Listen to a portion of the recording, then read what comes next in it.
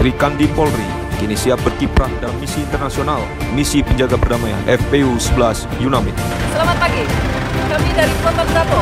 Pada hari ini kami akan melaksanakan kegiatan pertama kami di Elmasen. Poluan FPU 11 UNAMID merupakan poluan Republik Indonesia yang berasal dari seluruh Indonesia. Melalui seleksi ketat, mereka berhasil bergabung menjadi Peacekeeper Polri dan merupakan poluan pertama yang berhasil bergabung dalam misi FPU.